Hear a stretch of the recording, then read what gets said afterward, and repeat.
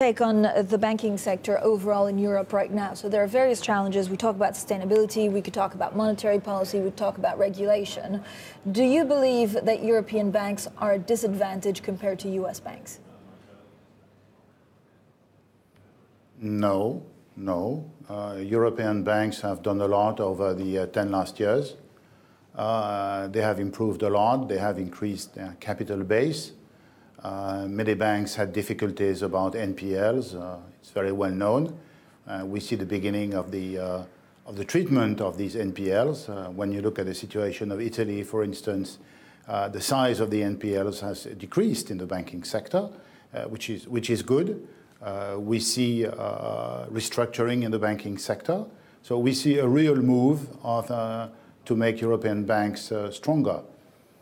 we don't see yet too much uh, cross-border consolidation, even if it is wished uh, by many. But we see market share consolidation. Uh, it's clear that there is a restructuring of the whole market in, the banking industry in, in Europe.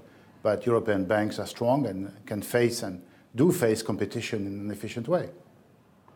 Um, on consolidation, do you believe that there's appetite from regulators to see consolidation? And would this be domestic consolidation or cross border consolidation?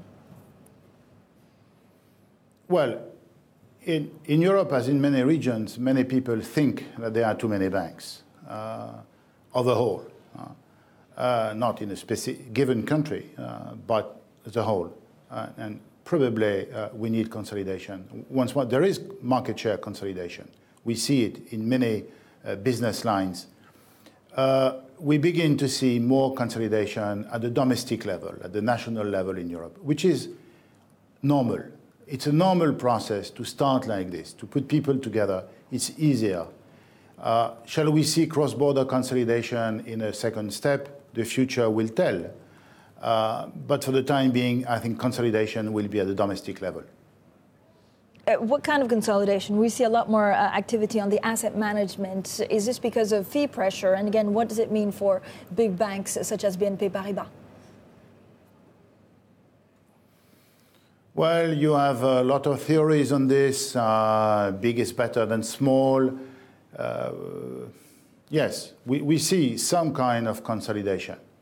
Uh, but at the same time, uh, in BNP Paribas, we pay a lot of attention to the quality of the clients, to the network we serve, and uh, we do believe that a strong asset management is a key asset for a bank like BNP Paribas serving our clients.